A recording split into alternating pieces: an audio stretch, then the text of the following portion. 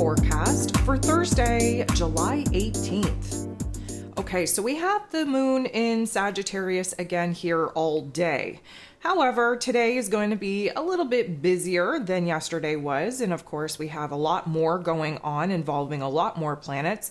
As yesterday, we had our second moon day in a row. Of course, that first moon day was in Scorpio energy, definitely unearthed some truths definitely did some shadow work. Then we moved in, had the moon aspects all take place in Sagittarius energy, illuminating a new truth, illuminating a new path, direction, really kind of renewed us in our confidence, in our optimism, in our hopes, in our wishes, in our dreams.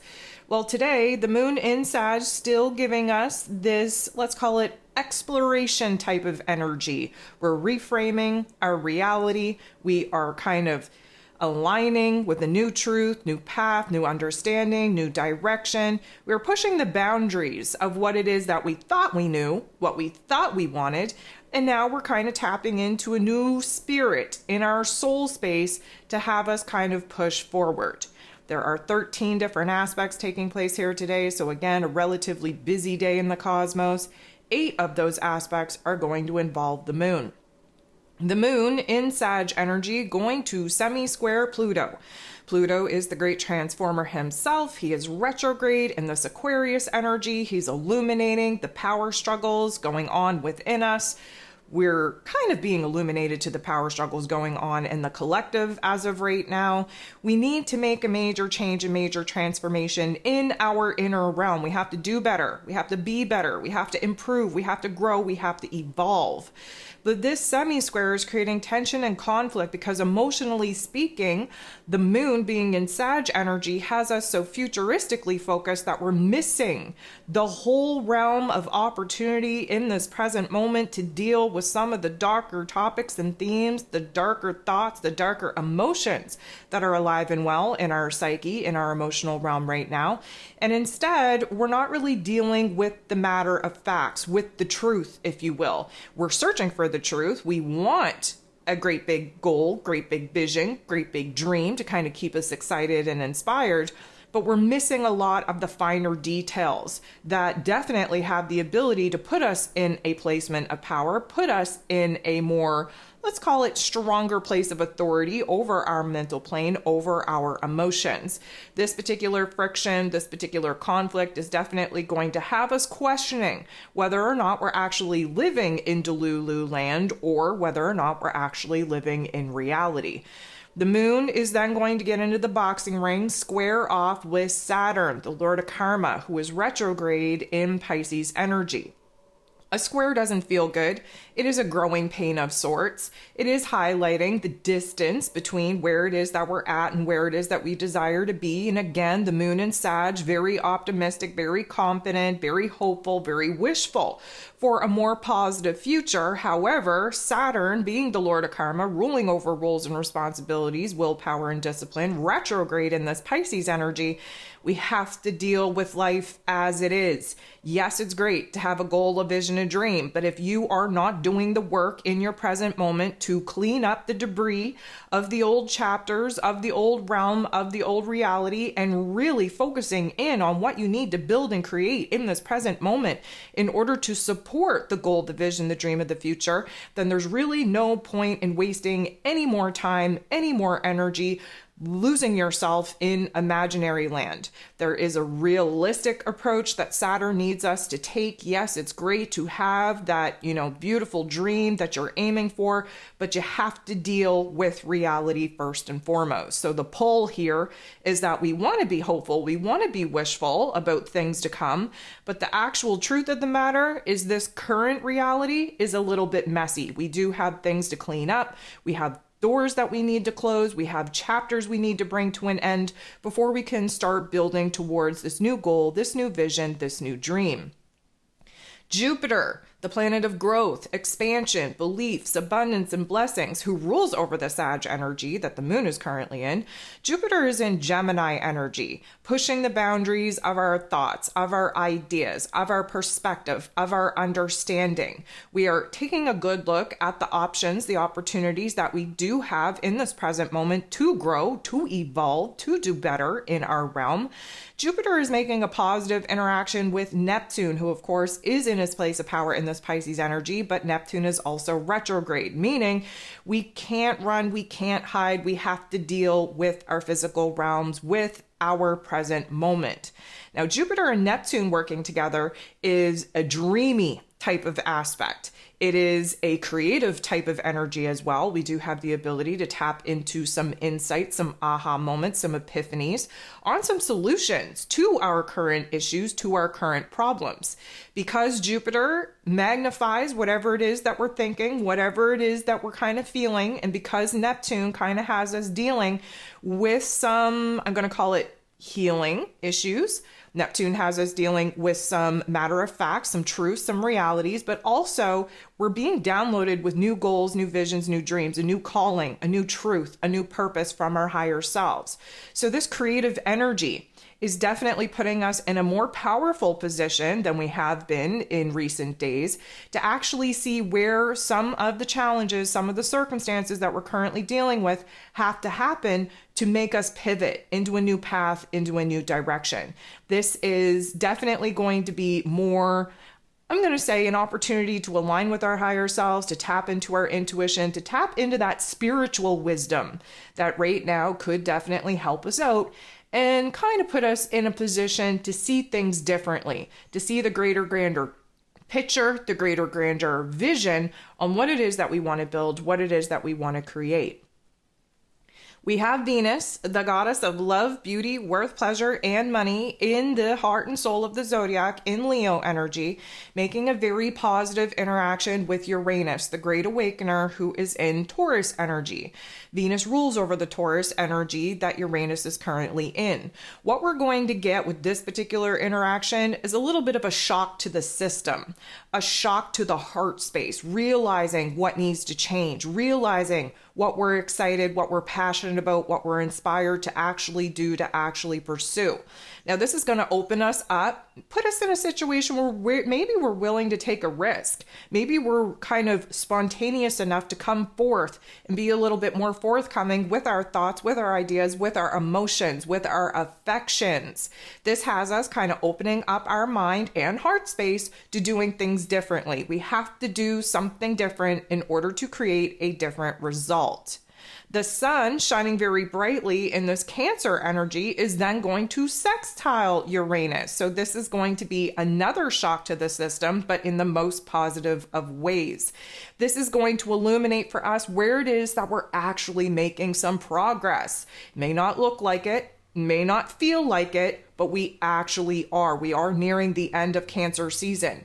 We are nearing the end of Mars being in Taurus energy. We are kind of closing in on this second full moon in Capricorn before we move into Leo season. So we are making some progress in identifying what needs to stay, what needs to go, what we have to strengthen, what we have to build, what we have to nourish and nurture within ourselves in order to get back to a place of health and wellness, to get back to a place of safety and security this particular interaction is definitely going to open us up to new ideas. Again, that Uranian energy needs us to adopt a different perspective, needs us to open up our heart and head to doing things differently, needs us to even explore different ideas in order for us to grow, in order for us to evolve.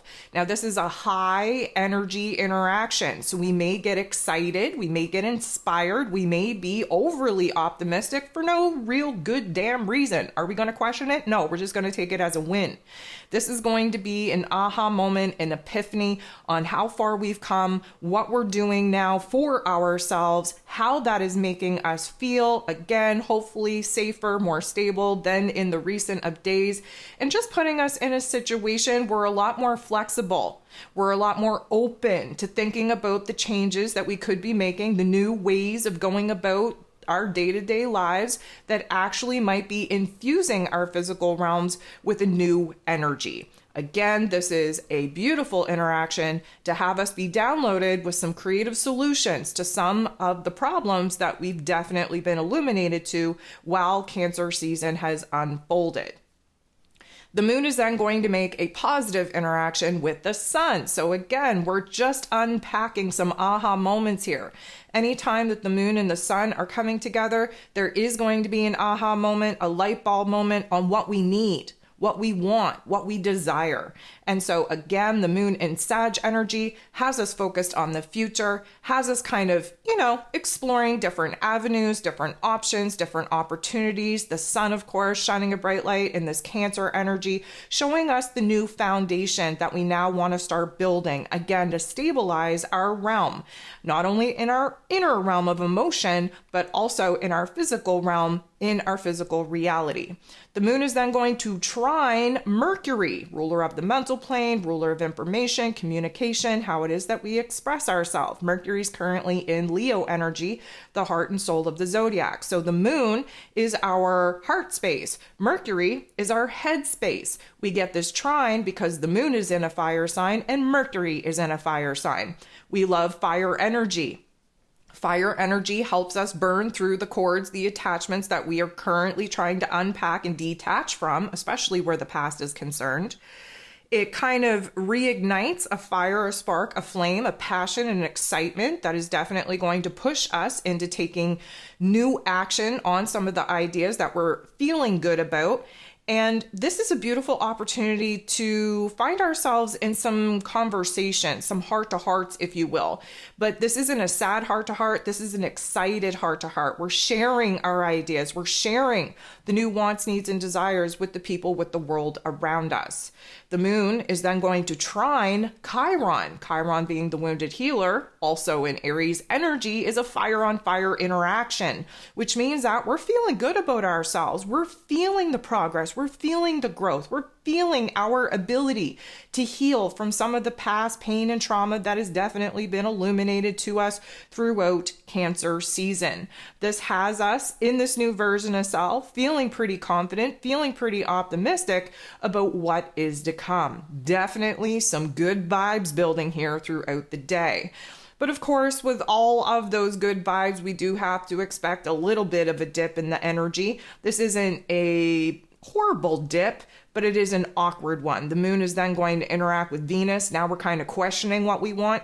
Now we're questioning whether or not we have the boldness, the bravery, the courage to actually be straightforward and forthcoming with our thoughts, with our ideas, with our emotions. That's okay. We're not going to sit in it for too long. Mercury is then going to trine Chiron. So again, fire on fire action. This puts us in a beautiful situation for us to see where it is that we're actually learning something. We're putting forth the tough love life lessons, the wisdom that we plucked out of that, the silver linings that we plucked out of that. We're actually learning something. We're actually making progress. This is definitely an opportunity for us to be a little bit more constructive with our communication styles. Again, being a little bit more bold and brave and courageous than we have been in the previous days to be a little bit, again, straightforward and forthcoming with our thoughts, with our ideas, with our emotions. This is a positive energy. We're open to talking a little bit more rationally, logically about some of the sensitive topics and themes that we've been avoiding, like the plague. We are definitely a little bit more, let's call it alert on edge in our mental plane. So we're observing things from a different perspective, from a different lens. And we're not as quick to jump in and judge and criticize as we would have been just days gone by. We're a lot more open now to even trying to understand where some of the skewed perceptions, the not so great understandings, even came from in the first place. So, although it may be a little bit easier to communicate our thoughts, our ideas, our emotions right now, it's not necessarily about let's say getting everything right or being understood in the way that we wish it would. It's more about just getting a lot off of our heart space. Again, Mercury being in Leo energy, the heart and soul of the zodiac, we have a lot of thoughts, a lot of feelings, a lot of observations that we've been keeping to ourselves that now we just want to get out of our body. The moon is then going to make a very tough interaction, first with Uranus, then with the sun. So, you know, up until the latter part of the day, we've been doing very well here, building in a positive energy, keeping an optimistic outlet, being open minded, being open hearted. We have definitely been pushing the boundaries of exploring new truths, new opportunities, new perspectives. But the moon now making a tough interaction with Uranus, now we're starting to confuse ourselves. Now we're starting to question whether or not we're actually living in la la land or actually rooted in reality. A lot of the thoughts, the ideas that we've been percolating on, now we're starting to second guess that. We're starting to even question whether we have the ability to make these changes, to actually align with the path, the goal, the vision, the dream that we're now kind of wanting to pursue. And then the moon interacting with the sun in a not so nice way is definitely going to illuminate the fears, the doubts, the insecurities that we're now having about this potential plan, about these options, about these opportunities. Now, it's not supposed to feel good, likely going to create some confusion likely going to be a little bit of a Debbie Downer, but we definitely have to learn from those not so nice thoughts and feelings on where these egoic programming seeds are still alive and well within us. We're going to end the day off with the sun in the Cancer energy semi squaring, so not the greatest interaction, with Jupiter, the planet of growth, expansion, beliefs, abundance, and blessings. Again, Jupiter is in Gemini energy, so there is a little bit of division within us here. There's a power struggle going on. We're talking ourselves into one thing and yet talking ourselves out of another. This is a good interaction to see where it is that maybe we bit off a little bit more than we could chew. Maybe we're overestimating our abilities. Maybe we're over exaggerating our emotional disposition. Maybe we are just, I'm going to say, more optimistic, more confident in our thoughts and our ideas than we're actually feeling. And that's okay too, but we do have to get real and raw and vulnerable with ourselves and just kind of see where it is that maybe we're just living in this, you know, optimistic, positive la la land in hopes that we are going to actually align with the goal, the vision, the dream that we're trying to conjure up. But realistically, we have to give ourselves a little bit of a reality check here, bring ourselves back down to earth and just ask ourselves, are we rooted in the truth? Are we rooted in reality? Do we have a good understanding of our energy, of our motivations, of our inspirations? And are we kind of talking the talk and walking the walk, or are we trying to convince ourselves that we're actually doing better than we actually are?